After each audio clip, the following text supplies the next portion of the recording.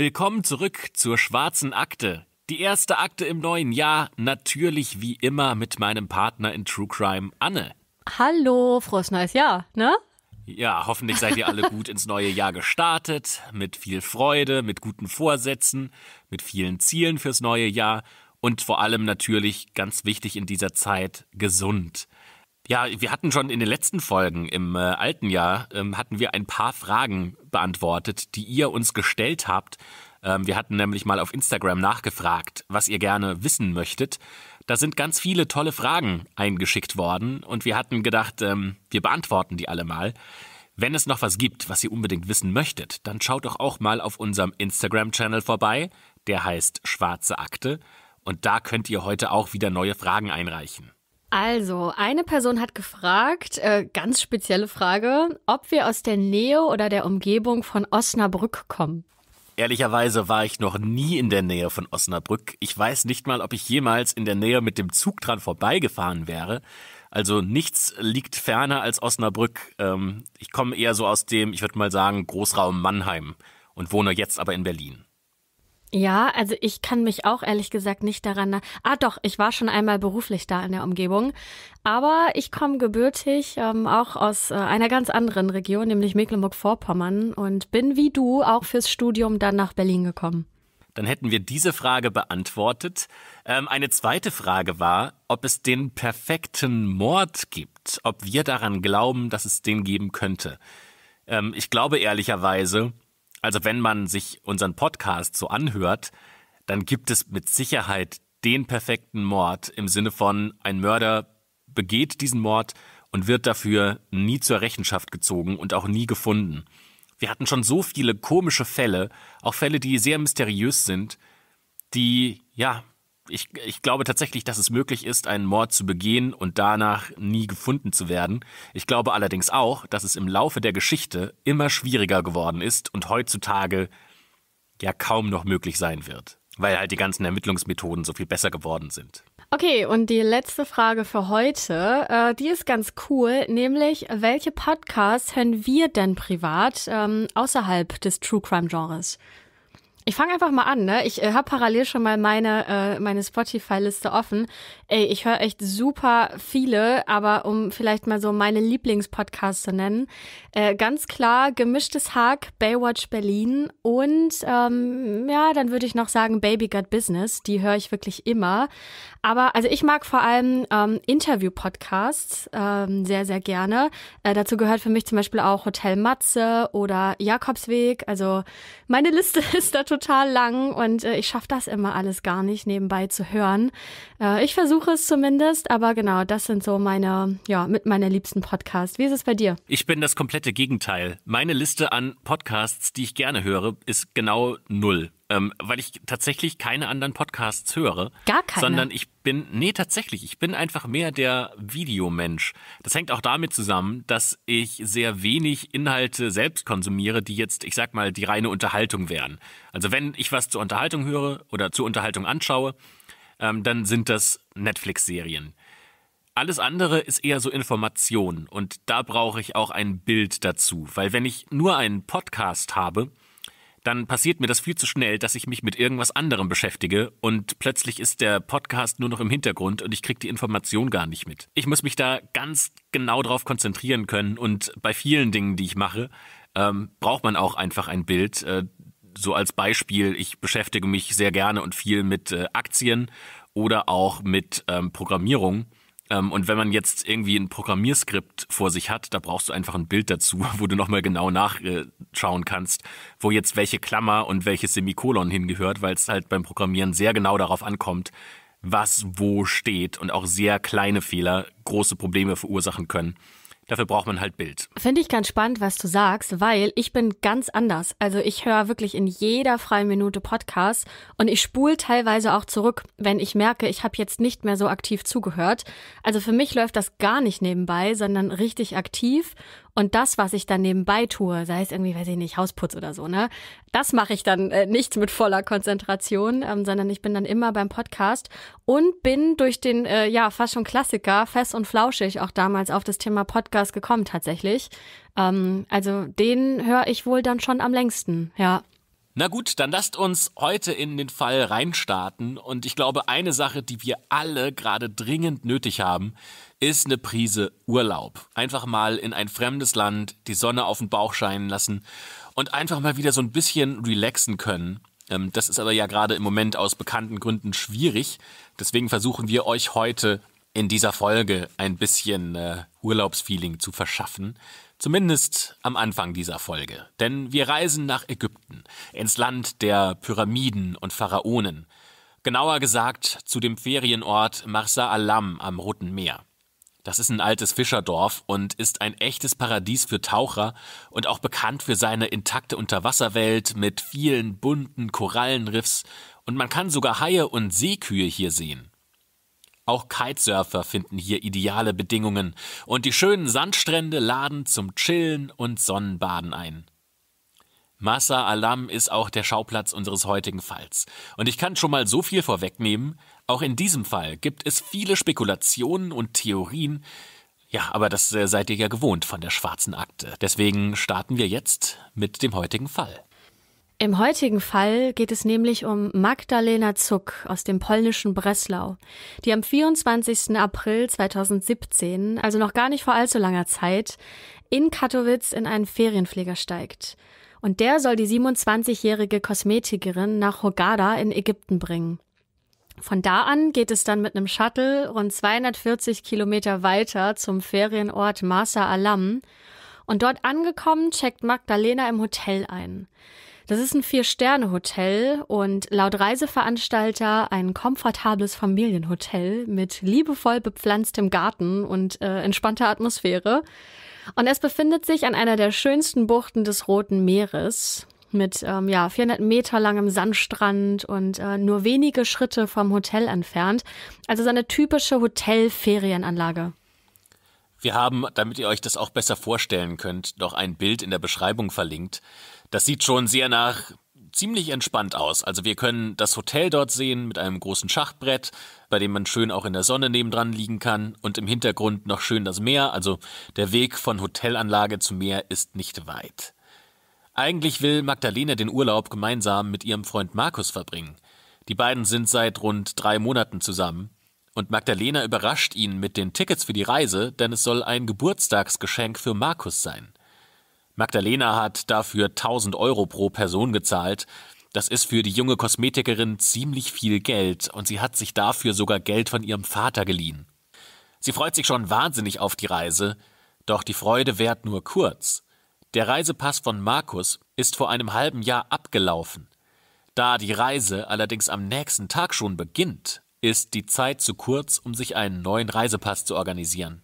Ja, ziemlich blöd gelaufen und ärgerlich. Und da Markus jetzt ja nicht mehr verreisen kann ohne gültigen Reisepass und sie die Reise auch gar nicht mehr stornieren können, stellt er die Tickets bei Facebook ein zum halben Preis. Aber niemand hat Interesse an einem kurzfristigen Trip und auch die Freunde von Magdalena können aus zeitlichen Gründen diese Reise nicht anstelle des Paares antreten. Ist ja klar, dass Magdalena jetzt hin und her gerissen ist, was sie tun soll. Sie hat ja zwei Möglichkeiten. Entweder sie bleibt zu Hause und keiner von beiden reist, und dafür muss sie dann halt aber diese 2000 Euro, die für sie wirklich viel Geld sind, einfach abschreiben und sie in den Wind schießen. Oder sie reist alleine nach Ägypten und macht einen Solotrip. Magdalena ist seit fünf Jahren selbstständig, hat ihr eigenes Kosmetikstudio. Außerdem hat sie seit Jahren keinen Urlaub mehr gemacht und hat den dringend nötig nach den ganzen stressigen Jahren mit dem Anfang der Selbstständigkeit. Ja, und was soll schon passieren, ne? Ähm, ich war selbst auch schon ein paar Mal allein im Urlaub. Ähm, wobei, das waren dann meistens immer geschäftliche Reisen, die ich dann privat verlängert habe, sozusagen. Ähm, ne? Also das kann man auf jeden Fall gut machen. Und ja, zwar gibt es in Ägypten immer wieder Anschläge, auch auf Touristen, aber die Gefahr im ruhigen Marsa Alam ist ja eher niedrig.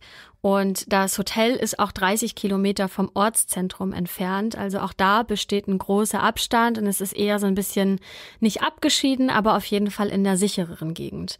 Und Magdalena entscheidet sich letztendlich auch für die Woche in der Sonne alleine.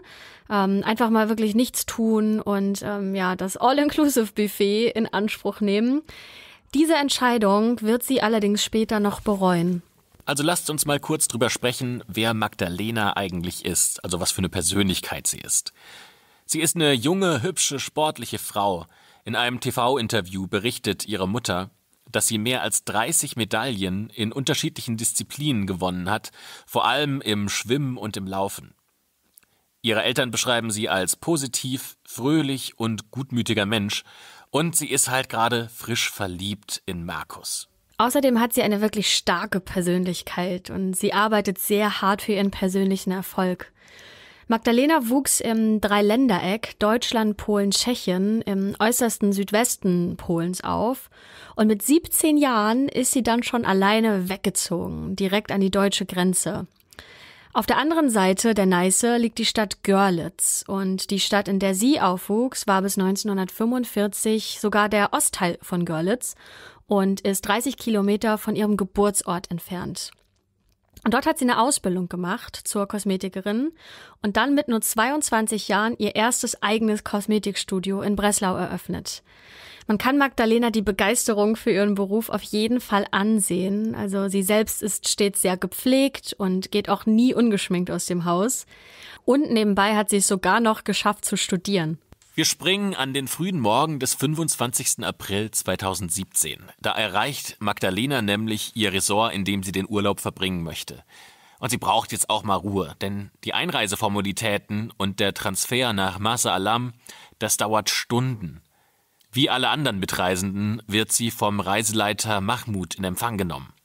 Von ihm bekommt sie auch ihr Zimmer zugewiesen und Mahmoud behalten wir uns mal im Hinterkopf, der wird später nämlich noch eine sehr entscheidende Rolle spielen. Ja, und schon am nächsten Tag, am 26. April, verhält sich Magdalena irgendwie eigenartig. Ein anderer Teilnehmer dieser Pauschalreisegruppe sagt dem polnischen Nachrichtensender TVN24 später, dass er sich über ihr Verhalten gewundert habe. Zurück zur Reisegruppe. Die trifft sich nämlich erstmal an der Rezeption. Und Magdalena schlägt ihnen vor, einen gemeinsamen Abend zu veranstalten, damit sich die Teilnehmer untereinander besser kennenlernen können. Da sie ja selbst allein unterwegs ist, ist das ja eine gute Möglichkeit, andere Kontakte zu knüpfen. Und der Reiseleiter Mahmoud findet die Idee auch gut und will die Veranstaltung nach dem Abendessen organisieren. Doch plötzlich dreht sich Magdalena zu ihm um und fragt immer und immer wieder, wo ist mein Freund? Wo ist mein Freund? Und das ist schon sehr merkwürdig, denn sie weiß doch, dass er die Reise nicht antreten konnte und dass sie alleine nach Ägypten gereist ist. Und nachdem sie das noch ein paar Mal wiederholt hat, läuft sie dann weg, weg von der Gruppe. Jetzt könnte man meinen, das ist vielleicht so ein Anflug der Reisestrapazen und sie war einfach übermüdet und verwirrt. Aber das war nicht der einzige Aussetzer. Auch Freunde aus der Heimat sind irritiert, denn Magdalena schickt ihnen Nachrichten. In denen tut sie so, als ob die Freunde mit im Urlaub in Ägypten wären. Auch Verwandte erhalten komische Nachrichten. Magdalena fragt, wo seid ihr? Wann kommt ihr? Seltsam ist, dass sie diese Nachrichten nicht mehr von ihrem Handy verschickt, sondern von dem Handy des Reiseleiters Mahmoud. Also warum hat sie nicht ihr eigenes Handy benutzt? Das ist tatsächlich eine Frage, die nicht geklärt werden kann. Später taucht dann auch ein sehr besorgniserregendes Video im Internet auf. Und darin ist zu sehen, wie Magdalena total apathisch auf der Türschwelle ihres Hotelzimmers liegt, nur mit einem Bademantel bekleidet und total verzweifelt wirkt. Das ist jetzt auch nicht die äh, englische Art der Gentleman, ähm, jemanden in so einer Situation zu filmen. Also das ist schon, ja, sie verhält sich da extrem komisch und äh, jemand hat das tatsächlich gefilmt und veröffentlicht. In diesem Video sieht man, dass die Hotelangestellten mit dieser Situation total überfordert sind, denn die sind das nicht gewohnt. Ne? Das ist ja kein Partyhotel, ähm, von dem man das vielleicht gewohnt wäre, mit betrunkenen Gästen umgehen zu müssen, sondern das ist ja ein Familienhotel. Also da kommt, kommen solche Situationen eigentlich nicht vor. Wer dieses Video veröffentlicht hat, weiß man nicht. Am Ende jedenfalls legen die Hotelangestellten Magdalena dann zurück aufs Bett. Magdalena ruft dann bei ihrer Schwester zu Hause in Polen an, diesmal allerdings von ihrem eigenen Handy. Bei diesem Gespräch äußert Magdalena einen schlimmen Verdacht. Sie glaubt nämlich, dass ihr jemand etwas ins Getränk gemischt hat, weil sie fühlt sich ganz komisch. Die Schwester ruft dann bei Magdalenas Freund Markus an, der hat auch schon komische Anrufe von Magdalena erhalten und macht sich große Sorgen. Deswegen organisiert er einen Rückflug für den 29. April 2017. Das ist der früheste Rückflug von Ägypten nach Polen. Früher geht einfach kein weiterer Flug nach Katowice. Markus hat Angst, dass Magdalena wegen ihres Zustands nicht mehr die Reise alleine bewältigt bekommt. Deswegen bittet er einen Freund von ihm, nach Ägypten zu fliegen und sie dort abzuholen. Denn Markus kann sie ja selbst nicht begleiten, weil ja sein Reisepass abgelaufen ist. Am 28. April kommt es dann sogar so weit, dass Magdalena aufgrund ihres Zustandes in ein örtliches Krankenhaus gebracht wird. Doch dort wird sie gar nicht behandelt. Und warum nicht, das ist leider unklar. Angeblich haben die Ärzte eine Aufnahme abgelehnt, weil sie keine psychischen Erkrankungen behandeln können. Wir werden auf diesen Aspekt nochmal später eingehen. Diese Version bestreitet allerdings ein Arzt des Krankenhauses. Er sagt, Magdalena soll sich geweigert haben, sich dort behandeln zu lassen. Sie ist angeblich nicht mal aus dem Auto ausgestiegen, als sie zur Klinik gefahren ist. Das kann man ja auch irgendwie nachvollziehen, oder? Also stell dir vor, dir geht's nicht gut und du weißt auch nicht genau warum.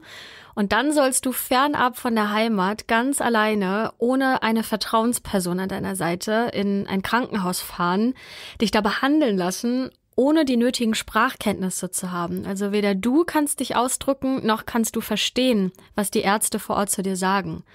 Also, ne, wie sollst du den Leuten erklären, was du eigentlich für ein Problem hast, ähm, von dem du ja eigentlich gar nicht genau weißt, was es ist? Und außerdem ist das Gesundheitssystem in Ägypten auch ein anderes, als es Magdalena aus der Heimat gewohnt ist. Aber jetzt holen wir uns nochmal die Aussage des Arztes ins Gedächtnis, der gesagt hat, Magdalena ist nicht mal aus dem Auto ausgestiegen und hat sich geweigert, sich behandeln zu lassen. Die Überwachungskameras sagen was ganz anderes. Da ist nämlich ganz klar zu erkennen, dass Magdalena freiwillig eincheckt und sich sogar den Weg weisen lässt. Ja, zugegeben, sie wirkte ein bisschen wackelig auf den Beinen, aber zumindest der Punkt, dass sie nicht im Krankenhaus war und verweigert hat, behandelt zu werden, das stimmt faktisch nicht. Das heißt, dass der Arzt nicht die Wahrheit gesagt hat, aber vielleicht ist es eine Art Schutzreflex. Denn es könnte sein, dass die ägyptischen Krankenhäuser in der ausländischen Berichterstattung nicht schlecht wegkommen sollen. Also es wäre ja nicht so gut für den Tourismus vor Ort, wenn äh, bekannt werden würde, dass sich Ärzte weigern, Touristen zu behandeln. Noch dazu in einer so offensichtlichen Notsituation, wie Magdalena das war. Nach dem erfolglosen Besuch in der Klinik fährt sie zurück zum Ressort. Am nächsten Tag, das ist dann der 29. April, lässt sie sich zum Flughafen bringen. Da hatte Markus ihr ja das Ticket besorgt, aber sie darf nicht in den Flieger steigen und ihr wird der Mitflug verweigert. Denn der Pilot denkt, dass Magdalena völlig betrunken ist. Andere Zeugen wollen beobachtet haben, dass sie sich am Gate regelrecht manisch verhalten hat, völlig überdreht. Da ist übrigens Markus Kumpel Matjay noch gar nicht vor Ort, aber da werden wir auch noch nachher drüber reden. Es geht also zurück zum Hotel für Magdalena. Also insgesamt wieder 500 Kilometer auf ägyptischen Straßen, die sie zurücklegen muss an diesem Tag und in ihrem Zustand. Das heißt, es ist ne, eine ganz schöne Strecke und äh, ganz schön schwierig und anstrengend für sie.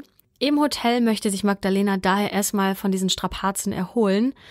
Aber da wartet bereits die nächste böse Überraschung auf sie, denn das Hotel weigert sich, ihren Zimmer zu geben, obwohl das ja schon bezahlt ist. Aber nach den Erfahrungen der letzten Tage mit Magdalena sind die Hotelmitarbeiter wohl heilfroh, sie endlich los zu sein. Magdalena wendet sich daher an ihren Reiseveranstalter und der schickt Mahmoud zu ihr. Und zusammen suchen die beiden jetzt nach einem neuen Hotel für sie. Diese ganze Situation bespricht Magdalena natürlich auch mit ihrem Freund Markus, der noch in Polen ja auf sie wartet. Sie nutzt dafür eine Videofunktion ihres Messengers und dieses Gespräch dauert knapp 14 Minuten, ja, und verstört Markus eigentlich mehr, als dass es ihm Hoffnungen macht oder die Sorgen nimmt. Es ist übrigens auch das letzte Mal, dass Markus mit Magdalena sprechen wird. Und mit diesem Gespräch und vor allem dem ganzen Drumherum werden wir uns jetzt intensiv beschäftigen.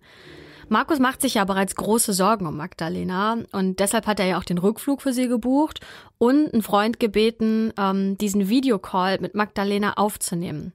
Als Beweis, äh, wie er in dem Telefonat noch zu ihr sagt.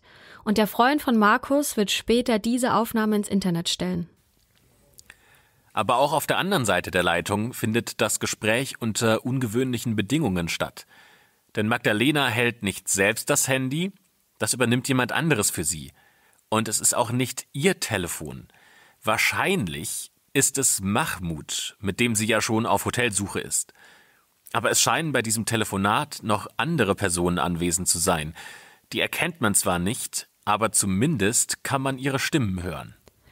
Ja, und in diesem Videotelefonat macht Magdalena einen ängstlichen, fast sogar panischen Eindruck. Sie sagt fast nichts und wenn doch, dann flüstert sie ganz leise. Markus redet die ganze Zeit auf sie ein und sagt immer wieder, Mäuschen, was ist los? Sag es mir, hab keine Angst. Maciej wird dich abholen. Er ist morgen früh da und wird dich fahren. Ja, dieses Gespräch äh, geht dann immer wieder in diese Richtung, dass er auf sie einredet und ähm, sie eigentlich nur stumm dasitzt. Und Magdalena geht auf diese Fragen gar nicht ein. Also sie sagt nur, ich kann's dir nicht sagen. Und später sagt sie auch noch, ich kann nicht reden. Und dann sagt sie einen Satz, der Markus auch im Gedächtnis hängen bleibt. Sie sagt, ich wurde vergewaltigt, ich komme nicht mehr nach Hause. Die haben hier ihre Tricks. Bitte hol mich zurück. Markus kann gar nicht glauben, was er da gerade gehört hat und fragt sie auch, wer dafür verantwortlich sei und wie das passiert ist. Doch Magdalena sagt nur den Buchstaben M. Als Markus wissen will, ob mit M der Reiseleiter Mahmoud gemeint ist, übernimmt Mahmoud das Gespräch und sagt, dass es keinen Sinn mache, jetzt weiterzusprechen und er die polnische Botschaft verständigen wird. Natürlich ist Markus nach diesem Gespräch total schockiert und höchst alarmiert, aber von Polen aus kann er jetzt ja wenig machen. Wo dann Magdalena tatsächlich die Nacht verbringt, ist nicht bekannt. Am nächsten Tag jedenfalls wird sie von fünf Männern in das gleiche Krankenhaus gebracht, in dem sie schon an den Tagen zuvor behandelt wurde. Auf dem Überwachungsvideo der Klinik sind die Männer ganz klar zu erkennen. Die tragen allerdings keine typische Krankenhausmitarbeiterkleidung und sind wohl auch keine Ärzte. Außerdem verhalten die sich merkwürdig. Während Magdalena auf dem Boden vor einer Tür kauert, versucht einer der Männer, das Sichtfeld der Überwachungskamera auf sie zu verdecken. Andere reden auf sie ein. Ein Mann schaut dann nochmal extra zur Kamera. Wahrscheinlich, so sieht es zumindest aus, um sicherzugehen, dass er die Kamera auch wirklich verdeckt. Und dann ist zu sehen, wie Magdalena plötzlich schreiend aufspringt und einen dieser Männer angreift. Sie ist also wirklich sehr aggressiv und völlig außer sich. Gar nicht mehr zu beruhigen. Sie wird in ein Zimmer gebracht und dort mit Handtüchern an ein Bett gefesselt. Daraus kann man erkennen, dass das Krankenhaus tatsächlich nicht für die Behandlung von psychisch kranken Menschen eingerichtet ist. Ja, später bittet dann Magdalena eine Krankenschwester, sie loszubinden, damit sie auf die Toilette gehen kann. Die Krankenschwester macht das natürlich, aber dann greift Magdalena auch sie an, rennt zum Fenster und stürzt sich aus dem zweiten Stock des Krankenhauses.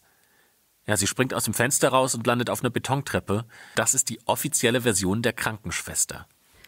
Magdalena wird durch diesen Sturz schwer verletzt und hat mehrere Knochenbrüche.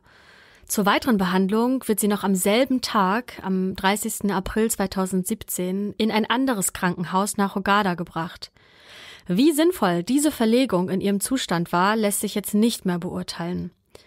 Und das ist leider auch das Ende ihrer Reise, denn tragischerweise stirbt Magdalena kurz nach ihrer Ankunft im Krankenhaus in Hogada auf der Intensivstation an ihren schweren Verletzungen, die sie sich durch diesen Sturz aus dem Fenster zugezogen hat. Das müssen offensichtlich dann schwerste Verletzungen gewesen sein, die sie von diesem Sturz davongetragen hat.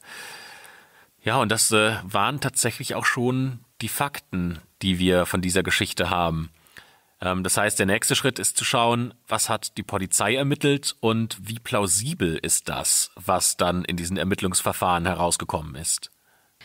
Die Behörden in Ägypten sind sich da relativ schnell einig, ähm, denn die sagen, dass Magdalena Selbstmord begangen hat. Als Grund dafür nennen sie eine Depression oder eine Psychose. Na, man muss es ja auch ehrlich sagen. Also von dem, was wir jetzt gehört haben, verhält sich Magdalena ja tatsächlich super eigenartig. Das fängt ja schon mit den komischen Anrufen an, dann der Zusammenbruch im Hotel, dann hat sie diese komischen Wutausbrüche und so weiter. Also das ist ja auf jeden Fall kein normales Verhalten von einem ausgeglichenen Menschen. Ihre Eltern beteuern eindringlich, dass Magdalena in der Vergangenheit aber keinerlei psychische Auffälligkeiten zeigte. Das heißt, sie war weder depressiv, noch hatte sie eine bipolare Störung und sie war schon gar nicht psychotisch. Allerdings gibt es eine Freundin von Magdalena, die anonym bleiben möchte, die sagt, dass sie mit Magdalena über ihre Therapie-Meetings gesprochen hat. Offenbar hat Magdalena eine spezielle Art äh, Therapie mitgemacht, die nennt sich Developmental Therapy. Ähm, das ist eine Art Psychotherapie, die ähm, häufig nicht bei psychischen Erkrankungen eingesetzt wird, sondern da geht es mehr um Selbstoptimierung. Alles dreht sich um die Frage, wie man ein ausgeglichener Mensch wird und mit sich selbst im Reinen ist. Das Ziel von dieser Therapie ist es, glücklich zu werden und auch die ganzen Herausforderungen, die das Leben zu bieten hat, besser annehmen zu können. Ja, ist ja eigentlich genau das, was eine Selbstständige braucht, denn äh, Selbstständigkeit bedeutet äh, immer eine Herausforderung. Ähm, allerdings betont die Freundin auch, dass Magdalena ein normaler und gesunder Mensch war, der viel positive Lebensenergie versprüht hat. Okay, das bedeutet, dass eine psychische Erkrankung allem Anschein nach ausscheidet. Aber warum sie sich in ihrem Urlaub so eigenartig verhält, das werden wir später noch ausführlich besprechen. Da gibt es einen ganz spannenden Ansatz. Für Magdalenas Eltern und übrigens auch die polnischen Ermittler gibt es einen ganz klaren und wichtigen Punkt. Die sagen nämlich, Selbstmord kommt hier gar nicht in Frage. Das glauben wir nicht. Das muss ein Mord gewesen sein, weil es in diesem Fall einfach zu viele offene Fragen gibt. Ja, interessant ist ja auch, dass die polnische Polizei direkt von Mord ausgeht, obwohl es ja erstmal gar keinen Hinweis darauf gibt, dass Magdalena von einer anderen Person ähm, aus dem Krankenhausfenster gestoßen wurde. Per se ist es ja auch gar nicht so notwendig. Zum Beispiel, ähm, wenn jemand eine andere Person unter Drogen setzt und dann steigt diese Person anschließend ins Auto und stirbt bei einem Verkehrsunfall, dann ist das ja auch eine Art Mord. Also es wird auch als Mord gewertet. Das heißt, auf alle Fälle liegt dann das Mordmerkmal der Heimtücke vor. Und wenn ich dann auch noch einen bestimmten Zweck mit dem Tod des Opfers verfolge, zum Beispiel äh, wenn ich jemanden umbringe, weil ich meine Schulden nicht zurückzahlen kann, oder weil ich das Geld von dem Opfer haben möchte, dann gibt es auch noch das Mordmerkmal Habgier. Auch äh, sexuelle Motive würden zu Mordmerkmalen zählen, genauso wie auch der Grund, ähm, um ein anderes Verbrechen zu vertuschen. Ja, und wenn zwei von diesen ganzen Merkmalen zusammenkommen, dann sprechen wir tatsächlich von Mord. Ob das Opfer jetzt unmittelbar an den Folgen eines Angriffs stirbt, ist da tatsächlich juristisch nebensächlich, Eher wegweisend ist die Frage, ob man den Tod des Opfers billigend in Kauf genommen hat. Das reicht dann schon aus, damit es ein Mord wird. Ja, am Ende des Tages, also das ist jetzt viel juristische Theorie, das muss natürlich ein Richter beurteilen, ob das jetzt ein Mord ist oder nicht. Ja, so richtig kommen die Ermittler aus Polen auch nicht voran, was aber vor allem an den ägyptischen Kollegen liegt, denn die sind jetzt eher wenig an einer Zusammenarbeit interessiert. Ein Beispiel. Es dauert satte dreieinhalb Jahre, bis der Obduktionsbericht, der ja entscheidende Hinweise enthalten könnte, was mit Magdalena passiert ist, von Ägypten nach Polen geschickt wird. Und als das Ergebnis endlich im September 2020, also vor drei Monaten, in Polen ankommt, ist der Obduktionsbericht nicht mal vollständig. Wir haben es ja schon vorher mal angesprochen, das kann natürlich sein, dass Ägypten, ähm, für das ja Tourismus eine ganz wichtige Einnahmequelle ist, gar kein großes Interesse daran hat, so eine Straftat aufzudecken, die dem Tourismus vielleicht schaden könnte. Ähm, aber es gibt gar keine Belege dafür, dass irgendwas von ägyptischen Behörden vertuscht worden wäre oder sie schlampig gearbeitet hätten, absichtlich. Deswegen ist das erstmal nur ja, eine, eine Theorie und ähm, kein Beweis. Na, lass uns trotzdem noch mal bei diesem Ansatz bleiben, denn es stellt sich ja schon die Frage, was denn bitte hier vertuscht werden soll, falls es wirklich so eine Aktion gab. So, und bevor wir hier weitermachen, nochmal der ganz klare Hinweis. Das sind jetzt keine gesicherten Fakten und Erkenntnisse mehr, sondern Gerüchte und Spekulationen, die wir in verschiedenen Quellen gefunden haben. Unter anderem haben wir uns polnische Medien angeschaut. Ähm, wir sind auch äh, in Online-Foren unterwegs gewesen und haben uns angeschaut, was da spekuliert wird. Und es gibt auch zwei große Facebook-Gruppen, die mit diesem Fall ähm, zu tun haben. Ähm, auch da haben wir reingeschaut. Da sind mehrere tausend Mitglieder drin. Und jeder hat eine Meinung über Magdalenas Tod und wie es dazu gekommen ist. In vielen Online-Berichten rückt der Reiseführer Mahmoud in den Fokus der Spekulationen, denn der soll Magdalena am Abend ihrer Ankunft, also am 25. April, ein mit Drogen versetztes Getränk gegeben haben. Dabei soll es sich um Liquid Ecstasy oder Mephedron gehandelt haben. Diese beiden gelten als Vergewaltigungsdrogen und anschließend soll Magdalena von mehreren Männern vergewaltigt worden sein. Das als erste Theorie ist natürlich schon mal eine krasse Ansage. Ähm, also lass uns mal anhand der Fakten checken, ob das tatsächlich so gewesen sein könnte. Zurück zum Tag nach der Ankunft von Magdalena, der 26. April. Da verhält sie sich ja schon höchst eigenartig. Ähm, sie fragt ja, wo ihr Freund ist und verschickt seltsame Nachrichten an ihre Familie. Das würde also zeitlich schon passen, dass sie in diesem Zeitraum Drogen eingenommen hat. Auch, dass sich ihr Gesundheitszustand in den nächsten Tagen so dramatisch verschlechtert, könnte durch eine drogenindizierte Psychose gekommen sein. Das ist bei chemischen Drogen gar nicht mal so ungewöhnlich. Ähm, vorher hat sie ja nie irgendwelche Auffälligkeiten gezeigt und die Drogen wären zumindest eine Erklärung dafür, warum sie sich so komisch verhält. Und diese Psychose ist am Ende auch die Ursache dafür, dass sie aus dem Fenster springt. Sie ist zu diesem Zeitpunkt ja völlig verzweifelt und äh, offenbar sieht sie einfach keinen anderen Ausweg mehr. Ja, und kann halt wegen dieser Psychose auch die aktuelle Situation nicht mehr richtig und auch rational bewerten. Und zudem sagt sie ja explizit in einem Gespräch mit ihrem Freund Markus, ich wurde vergewaltigt, ich komme nicht mehr nach Hause. Es tut mir leid, die haben ihre Tricks hier, bitte hol mich zurück. Und gegenüber ihrer Schwester äußerte sie ja auch den Verdacht, dass ihr etwas ins Glas geschüttet wurde. Es gibt für dieses Vorgehen auch einen Begriff, der heißt Taharush Jamai. Ähm, und äh, das ist ein Begriff dafür, ähm, für sexuelle Übergriffe gegenüber Frauen. Das können sexuelle Belästigungen sein, aber es geht auch hin bis zu Vergewaltigungen. Ähm, und diese Taharush Jamai, ähm, das geht immer von einer Gruppe von Männern aus und ist ein Begriff, der im nordafrikanischen Raum ähm, bekannt ist. In dem knapp 40-minütigen Videogespräch mit ihrem Freund Markus flüsterte Magdalena ja auch immer wieder den Buchstaben M. Für große Teile der Internetgemeinde ist das ein klarer Hinweis auf Mahmoud als Täter. Und übrigens gibt es auch eine Erklärung, warum sie bei diesem Gespräch nur flüstert. Denn einer der Männer, der bei dem Telefonat anwesend war, soll Polnisch gesprochen haben. Deshalb soll Magdalena nicht offen mit ihrem Freund Markus gesprochen haben können, weil der Mann alles verstanden hatte. Und aus diesem Grund soll Mahmoud ihr auch das Telefon aus der Hand genommen haben, als Markus explizit nachfragt, ob Mahmoud für ihren Zustand und auch für die Vergewaltigung verantwortlich sei. Mahmoud soll wohl ein Zeichen des polnischen Begleiters bekommen haben, dass er jetzt sofort das Gespräch beenden muss. Die Männer sollen stets Kontrolle über Magdalena gehalten haben, damit sie nichts verrät. Diese Männer bringen dann Magdalena ins Krankenhaus und sie darf dann auch nicht mit ihrem eigenen Handy telefonieren, sondern muss über Mahmuds Mobiltelefon mit Markus sprechen. Einmal sagt sie in dem Gespräch, dass sie später ihr eigenes Handy einschalten will und Markus zurückrufen wird, aber zu diesem Punkt kommt es schon gar nicht mehr. Einen eindeutigen Beleg für eine Massenvergewaltigung gibt es nicht und Magdalena lässt sich ja nicht im Krankenhaus untersuchen, beziehungsweise wird nicht untersucht.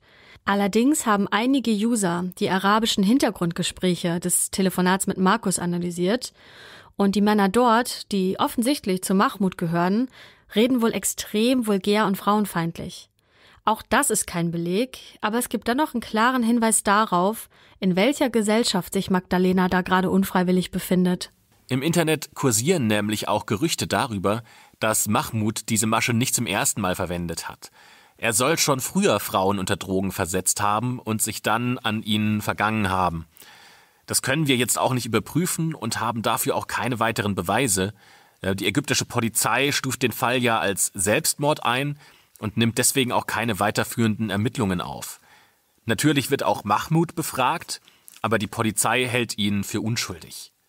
Mahmoud jedenfalls löscht jedes seiner Social-Media-Profile, nachdem dieser Fall in Polen so hohe Wellen geschlagen hat.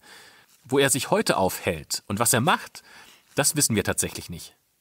Auch die Teile des Obduktionsberichts, die die polnischen Ermittler bekommen, liefern dazu keine Erkenntnisse.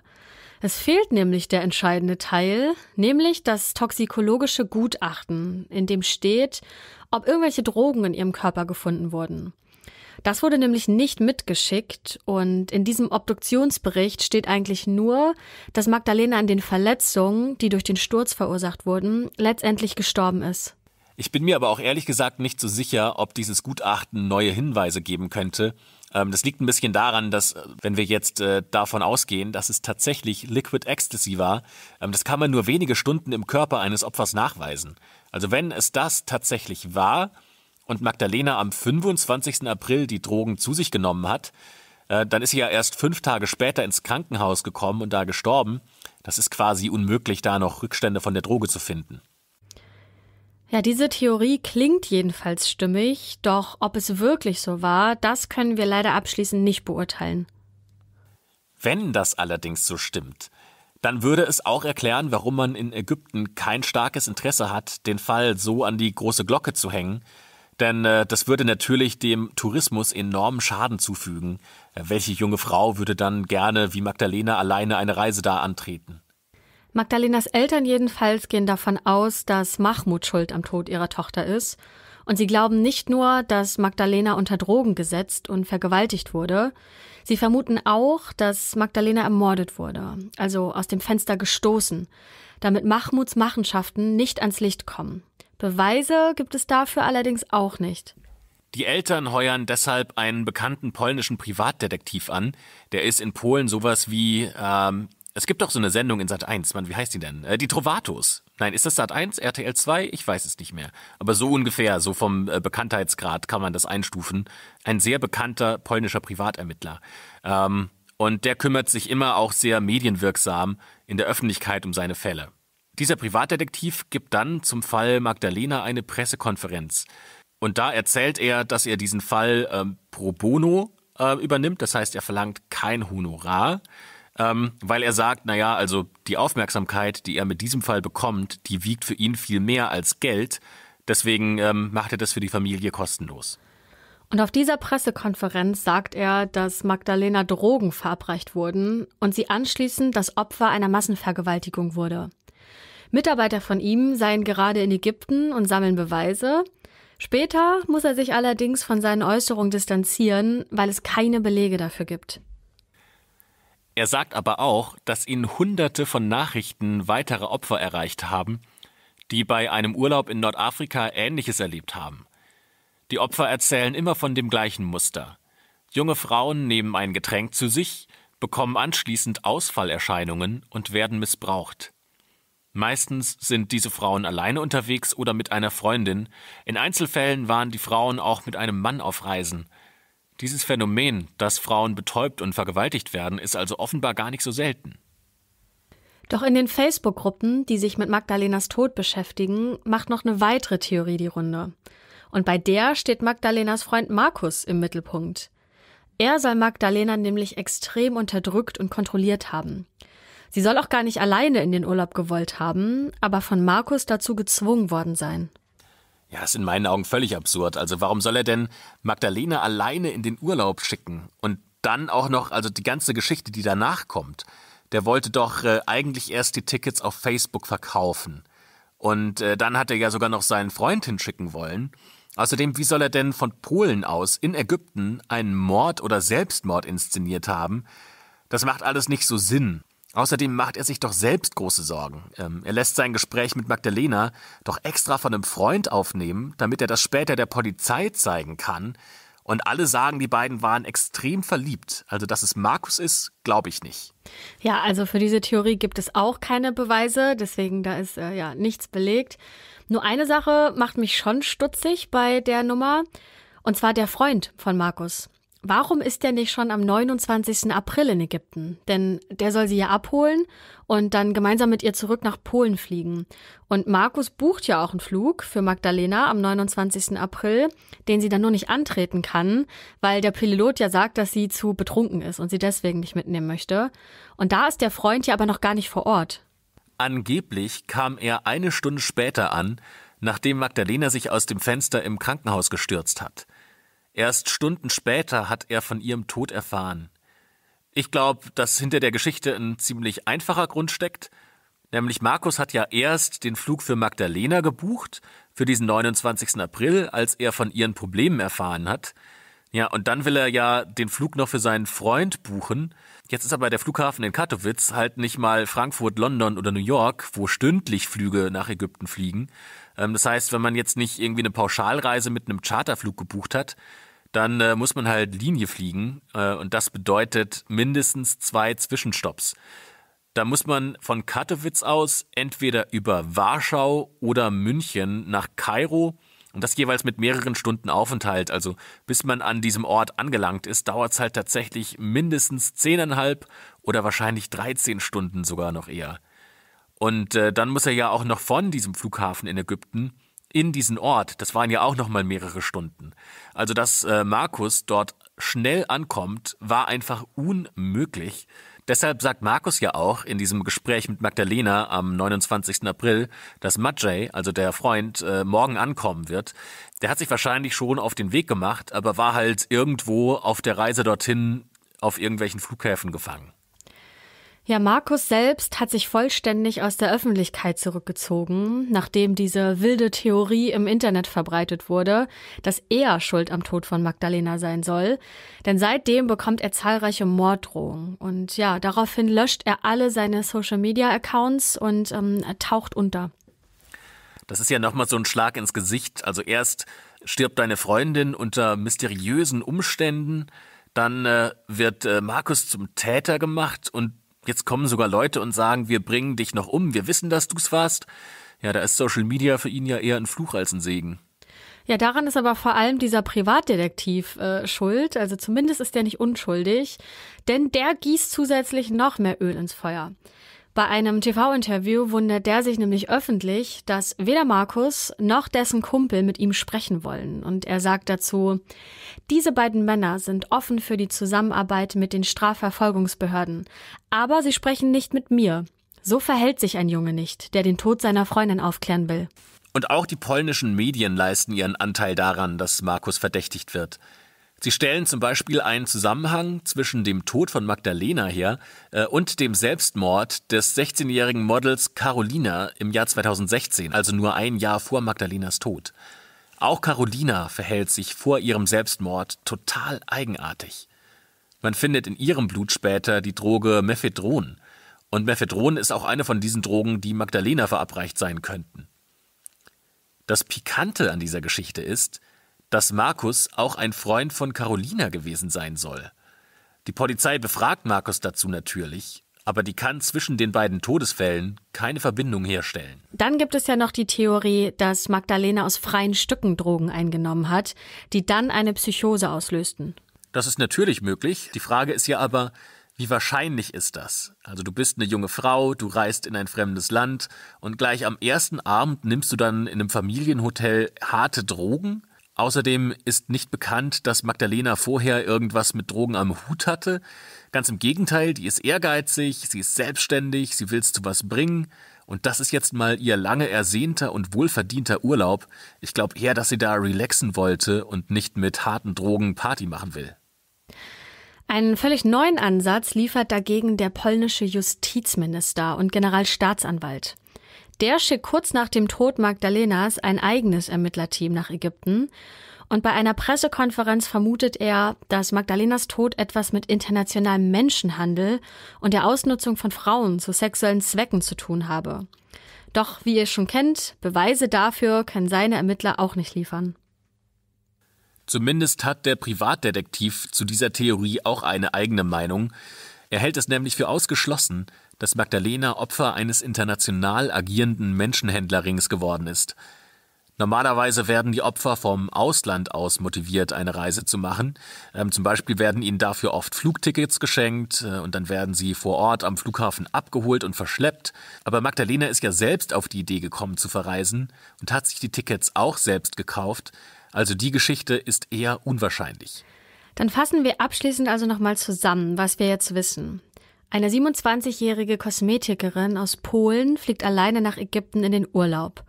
Dort verhält sie sich äußerst merkwürdig. Fünf Tage später stirbt sie an den Folgen eines Sturzes aus dem Fenster. Die ägyptischen Behörden gehen von Selbstmord aus.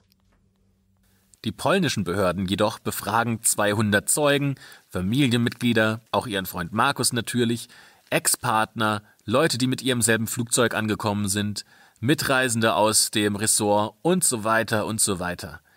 Aber Belege, dass es sich um einen Mord handeln könnte, kann auch das polnische Ermittlerteam bis heute nicht liefern.